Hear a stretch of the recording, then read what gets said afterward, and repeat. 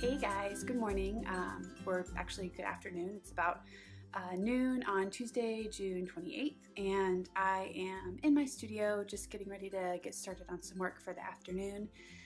And I figured that I would try doing some vlogging this week. I don't know if it's going to happen, but my um, my plan, my idealistic plan is that I want to vlog for five days in a row, um, just because. Uh, well, I thought it would be fun and it's something I haven't done before. And um, it's actually a pretty busy week coming up. I have, um, I don't know if you can see behind me, but um, a bunch of these illustrations here. There are 14 of them, and um, you might have seen that um, pink one on the right there was the one that I did a video about last week. But um, these are going to be I believe for a video game, which is cool because I have never had work in a video game before. Um, so yeah, I have to finish. There's about seven of them I think are, are mostly done and seven of the rest um, are kind of in the very first stage still and they're all due this Friday, um, July 1st. So I have a lot to do there and then I also have another um, sort of smaller private commission that I'm working on and then I'm also doing, ooh sorry, this isn't too shaky and I'm also doing the um, doing some website stuff for um, an ongoing client of mine.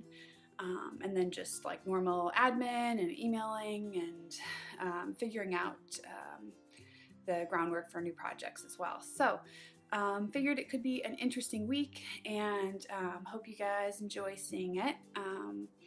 yeah, so now I'm just going to get started on some of these illustrations. I'm hoping to finish a couple at least today um, but tomorrow I should have a longer chunk of time. So uh, yeah, I'll dive right in and see how far I get.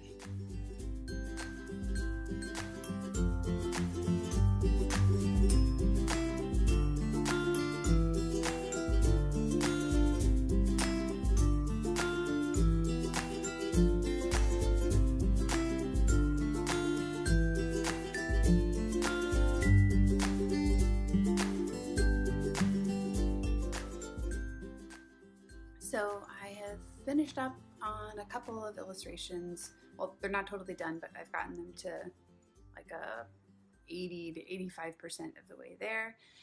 And my initial plan was that I was going to do two today, three tomorrow, well, totally complete two today, complete three tomorrow, and then complete two more on Thursday because they're due on Friday and I'll still have to like scan them all in and clean them up and stuff. So um, but now I'm thinking I might um, actually work on a couple of more, a couple more today, and just get them, try to get them to that 80 uh, percent point as well, because I ended up using some Gamsol into the ones that I worked on um, so far, the two egg ones. And sometimes I feel like it's better just to let that sit for a little while um, so that I don't mess it up or whatever. Um, yeah, so um, after I finished those, I also went and got a snack and made some phone calls. And since I'm using the iPhone to vlog today, because I've got the other one already set up, um, the other camera already set up, I couldn't record while I was also making calls, but just admin stuff, um, following up from different clients um, and inquiries. So yeah, now I think I'm gonna get back to some drawing.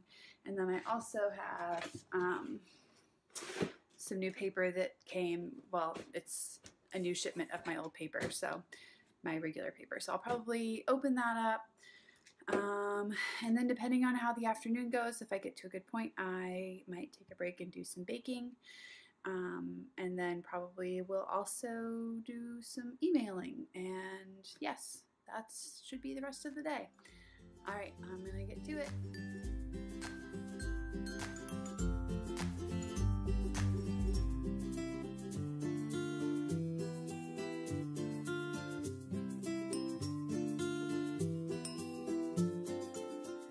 So I'm working on this um, salad, one of the illustrations uh, for this video game project, and um, I just remembered a question that somebody had posted on a video maybe a week or two ago asking about greens and blending, color blending greens and how it could be kind of, they made a comment that it could be kind of tricky.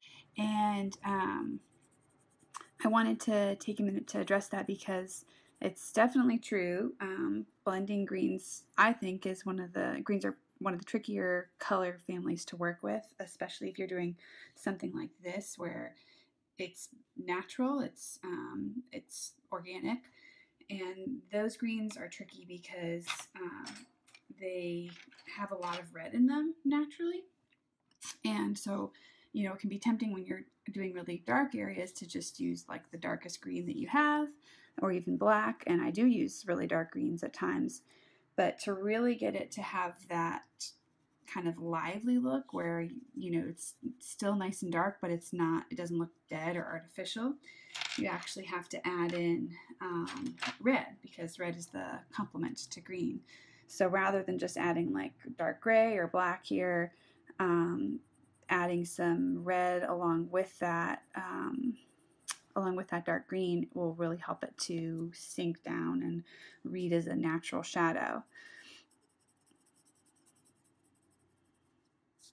Yeah, so I'm just going over some of the dark areas where um, I want it to be a really deep shadow and adding some red to it.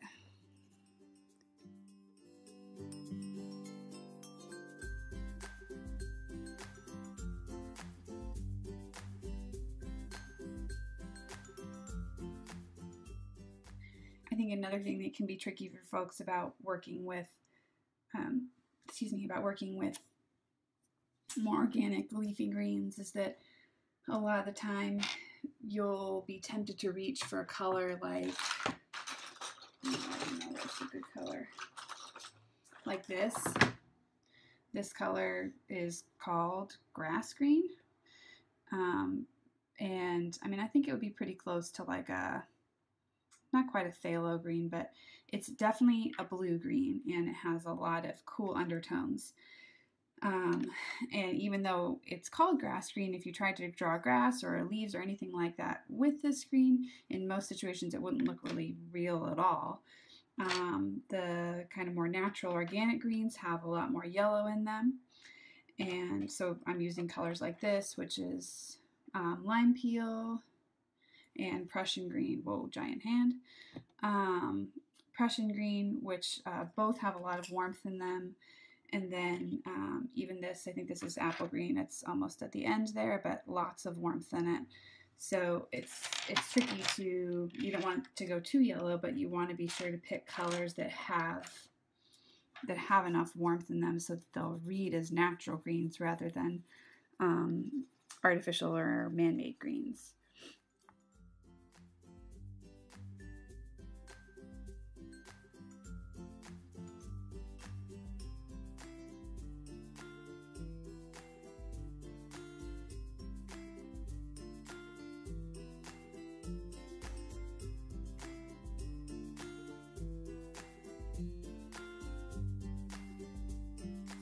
About 5.30 and um, I've been working on the computer for the last couple of hours. Um, just sent a proposal um, to a new client, followed up on some other emails with existing clients.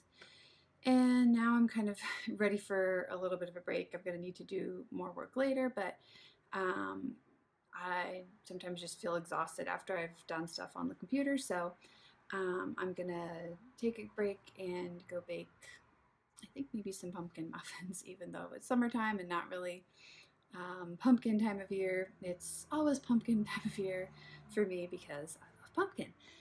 Um, yeah, so I think I might go do that, and um, and yeah, that's what's happening.